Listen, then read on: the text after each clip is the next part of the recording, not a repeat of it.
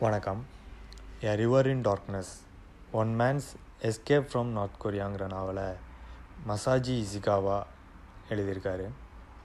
இது வந்து ஒரு ஜப்பானிய நாவல். இதை ரிசா கபயாஷி அப்புறம் மார்ட்டின் ப்ரௌனுங்கிறவங்க ஆங்கிலத்தில் மொழிபெயர்த்திருக்காங்க.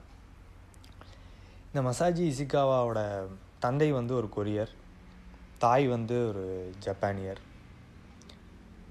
இவங்க குடும்பம் வந்து ஜப்பான்லேருந்து வடகொரியாவுக்கு போகிறாங்க அங்கே அவங்களால வாழ முடியாமல் அங்கேருந்து திரும்பி ஜப்பானுக்கு அவர் தப்பிச்சு வர்றது தான் இந்த நாவல். தன்னோட சொந்த வாழ்க்கை அனுபவத்தை வந்து இந்த நாவல் மூலியமாக அவர் பதிவு பண்ணியிருக்காரு. இவர் ஜப்பானில் வந்து காவசாக்கி அப்படிங்கிற ஒரு நகரத்தில் பிறக்கிறாரு. ஆயிரத்தி தொள்ளாயிரத்தி நாற்பத்தி ஏழில். இவரோட சிறு வயசுலேருந்தே இவரோட தந்தையை இவருக்கு பிடிக்கிறதில்ல. அவர் அடிக்கடி யார் கூடயாச்சும் சண்டை போட்டு ஜெயிலுக்கு போயிடுறதும் இல்லை வீட்டில் இருக்கும்போது டெய்லி தன்னோட தாயை குடிச்சிட்டு வந்து அடிக்கிறது இப்படியே அவங்க வாழ்க்கை போய்கிட்டு இருக்கு அவரோட தந்தைக்கும் சரியான வேலைகள் கிடைக்க மாட்டேங்குது. அப்போ வடகொரியாவிலேருந்து அந்த அரசாங்கம் வந்து ஒரு அறிவிப்பிடுறாங்க அதாவது வடகொரியாவிலேருந்து சென்றவங்கெல்லாம் திரும்ப நாடு திரும்புங்க. இங்கே வடகொரியாவில் கல்வி இலவசம் மருத்துவம் இலவசம் வேலைவாய்ப்புகள் வந்து நிறையா கொட்டி கிடக்கு. பூமியின் சொர்க்கமே வடகொரியா தான் அப்படிங்கிற அறிவிப்புகள் வருது. அப்போ ஜப்பானில் வந்து கொரியா அரசாங்கம் வந்து சில குழுக்களை அனுப்புது. அதாவது அங்கே இருக்க கொரியர்களை எல்லாம் நாடு திரும்ப வைக்கிறதுக்காக இதை வந்து ஜப்பானிய கவர்மெண்ட்டும் வரவேற்குது. எப்படியாச்சும் இங்கே இருக்க கொரியர்களை வந்து அவங்க நாட்டுக்கு அனுப்புனா போதும் அப்படிங்கிற முடிவில் அந்த நாடு திரும்புதலுக்கு வந்து ஏற்பாடுகள் எல்லாம் ஜப்பான் கவர்மெண்ட்டும் சேர்த்து பண்ணுறாங்க ஒரு நாள் இவரோட தந்தை வந்து நம்ம எல்லோரும் வடகொரியா போக போகிறோம் அப்படிங்கிற முடிவை அறிவிக்கிறாரு. இவருக்கு ரொம்ப அதிர்ச்சியாக இருக்குது எப்படி நம்ம எனக்கு கொரியன் மொழியே தெரியாது நம்ம எப்படி அங்கே போய் வாழ முடியும் அப்படின்னு ரொம்ப பயப்படுறாரு. இவரோட தாய்க்கும் வேறு வழி இல்லை. சரி அங்கே வடகொரியாவில் தான் நிறையா வேலை வாய்ப்புகள் இருக்குங்கிறாங்க கல்வி இலவசம் மருத்துவ இலவசங்கிறாங்க அங்கே போனாவாச்சும் நம்மளோட வாழ்க்கை தரம் உயரும் அப்படின்னு நம்பி அவ அவங்களும் சம்மதிச்சிடுறாங்க வடகொரியா செல்லத்துக்கு. இவரோட பதிமூணு வயசில் இவங்க வந்து வடகொரியாவுக்கு போகிறாங்க பெரும் எதிர்பார்ப்போட பயணத்தை மேற்கொள்கிறாங்க அவங்க வடகொரியாவில் வந்து ஒரு துறைமுகத்தில் போய் இறங்குறாங்க. அந்த இறங்கினோடனே அவங்களுக்கு வந்து ஒரு பேர் அதிர்ச்சி காத்திருக்கு. அந்த துறைமுகத்தில் இருக்க கப்பல்கள்லாம் துருப்பிடிச்சு ரொம்ப பழசாக அதை வந்து பயன்படுத்தவே முடியாத நிலையிலையும் அங்கே இருக்க மக்கள் வந்து அவ்வளோ குளிர்லையும் ஒரு மெலிதான ஆடையத்தை அவங்க அடைஞ்சிருக்காங்க அவங்க சென்று சேர்ந்த அந்த இடமும் பார்த்திங்கன்னா பெரிதாக வளர்ச்சி அடைந்த நகரம் அப்படின்லாம் சொல்ல முடியாது. பெரிதான எந்த ஒரு கட்டுமானங்களும் அந்த இடத்துல இல்லை. அவங்களுக்கு அங்கேருந்து தூரத்தில் ஒரு ஊரில் ஒரு வீடு ஒதுக்கப்படுது. அந்த அவங்க ச உணவுக்கு வந்து தானியங்கள் வந்து அரசாங்கமே கொடுக்குது. அங்கே இருக்க பள்ளியில் சேர்ந்து படி படிக்கிறதுக்கு உண்டான வாய்ப்பை ஏற்படுத்தி கொடுக்குறாங்க. அவங்க குடும்பம் வந்து ஜப்பானில் வந்து ஒரு ஏழ்மையான வாழ்க்கையை தான் வாழ்ந்தாங்க. ஆனால் இங்கே இருக்கிறத போன்ற ஒரு வாழ்க்கையை வந்து அவங்க கனவுலையும் எதிர்பார்க்கல. ஏன்னா அங்கே வந்து அவ்வளோ நெருக்கடிக்கு உட்படுத்தப்படுறாங்க அவங்க. ஏன்னா அந்த நாட்டில் சுயமாக சிந்திக்கிறத கூட ஒரு பெரிய குற்றமாக கருதுகிறாங்க வயது வந்தவர்கள் எல்லோருமே உழைக்கணும். உழைச்சா தான் உணவு அப்படிங்கிற நிலை இங்கே இருக்குது அவங்க தினமும் ப பசியிலே தூங்க போகிறாங்க ஏன்னா உணவு கிடைக்கிறது வந்து அவ்வளவு கஷ்டமாக இருக்குது அங்கே. உணவு பயன்தளிப்பதை வந்து அரசாங்கம் தான் ஏற்றிருக்கு. தனியாக யாரும் விற்க முடியாது. தனியாக விற்கிறது வந்து தடை செய்யப்பட்டிருக்கு. அப்படி இருந்தாலும் சில சமையல்களில் தாங்க கொண்டு போயிருக்க உடைமைகளை விற்று கள்ள மார்க்கெட்டில் வாங்கிக்கிறாங்க.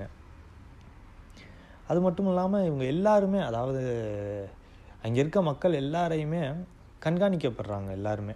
அங்கே வந்து கல்வி முறையே அப்படி தான் இருக்குது நீங்கள் வந்து சுயமாக சிந்திக்கவே கூடாது. என்ன சொல்லி கொடுக்கப்படுதோ அதுதான் உண்மை. அதைத்தான் நீங்கள் நம்பணும் அப்படிங்கிற ஒரு முறை இங்கே இருக்குது எல்லாரையுமே ஒரு கண்காணிப்பு வளையத்திலேயே அரசாங்கம் வச்சுருக்கு. யாராச்சும் ஏதாச்சும் அரசாங்கத்துக்கு எதிராக செயல்படுறது தெரிஞ்சிச்சுன்னா அவங்களுக்கு ஒன்று மரண தண்டனை அப்படி இல்லாட்டினா வதை முகாமுக்கு அனுப்பிடுறது. இத்த இந்த கொடுமையான நிலையிலையும் அவர் தன்னோட கல் பள்ளி படிப்பை முடிக்கிறாரு. வேலைக்கு போகிறாரு திருமணம் நடக்குது. ஒரு கட்டத்தில் அவங்க தாய் இறந்துடுறாங்க. அவருக்கு கல்யாணம் நடக்குது. கல்யாணமும் இருபத்தாறு வயசில் முதல் மனைவி இறந்துடுறாங்க. கை கு குழந்தையோடு இவர் தனியாக நிற்கிறாரு அப்புறம் ம இன்னொரு திருமணம் பண்ணிக்கிறாங்க. இன்னொரு திருமணம் பண்ணி இன்னொரு பெண் குழந்தை பிறக்குது. இப்படி அவங்க குடும்பத்தில் வந்து மொத்தம் எட்டு பேர் ஆயிடுறாங்க. ஒரு எட்டு பேர்த்துக்கு உண்டான குடும்பத்துக்கு உணவு வந்து ரொம்ப பெரிய தேவையாக இருக்குது அவங்களுக்கு அந்த உணவு பிரச்சனை தான் இங்கே வந்து ஒரு பெரும் பிரச்சனை. ஒரு நாளைக்கு அந்த ஒரு வேளை உணவு கிடைக்கிறது வந்து ரொம்ப பெரிய முயற்சிகள் தேவைப்படுது அந்த உணவை அவங்க வாங்குறதுக்கு. ஒரு கட்டத்தில் என்ன ஆயிடுதுன்னா இனிமேல் இந்த நாட்டிலே இருக்க முடியாது அப்படிங்கிற நிலைக்கு வர்றாங்க. அவரோட தந்தையும் ஆயிரத்தி தொள்ளாயிரத்தி தொண்ணூற்றி நாலில் இறந்துடுறாரு. அவர் இறக்கும்போது சொல்கிற வார்த்தை நீ இங்கே இருக்காத. எப்படியாச்சும் போயிரு. எப்படியாச்சும் தப்பிச்சு ஜப்பானுக்கு போயிரு. அங்கே போய் இங்கே நடந்ததை சொல்லு. இங்கே நடந்ததை மக்களுக்கு சொல்லு. அப்படிங்கிறத சொல்லிட்டு அவங்க தந்தையும் இறந்துடுறாரு. இவருக்கு என்ன பண்ணுறதுன்னு தெரில தன்னோட குடும்பம் எப்படியும் சாக போகுதுன்னு தெரியுது. உணவு இல்லாமல் நம்ம சாக போகிறோம் அப்படிங்கிறது இவருக்கு தெரிஞ்சிருது. சரி கடைசி ஒரு வாய்ப்பை வந்து நம்ம எப்படியாச்சும் தப்பிக்க முயற்சி பண்ணுவோம் அப்படின்ட்டு அவங்க வீட்டில் எல்லாத்தையும் சொல்லிவிட்டு நீங்கள் கவலைப்படாதீங்க. நான் எப்படியும் உங்களை வந்து ஜப்பானுக்கு அழைச்சிக்கிட்டு போயிடுவீங்க அப்படின்னு வீட்டில் சொல்லிவிட்டு அவர் வடகொரியாவிலேருந்து ஜப்பானுக்கு தப்பிக்கிற தன்னோட பயணத்தை தொடங்குறாரு.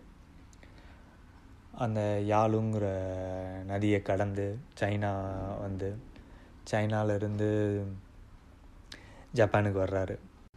அவர் வடகொரியாவிலேருந்து எப்படி தப்பிச்சு சைனா வந்து ஜப்பான் வந்தார் திருப்பி அவரோட குடும்பத்தை அழைச்சிக்கிட்டாரா இல்லையா அப்படிங்கிறத பற்றி தான் அந்த நாவல் பேசுது.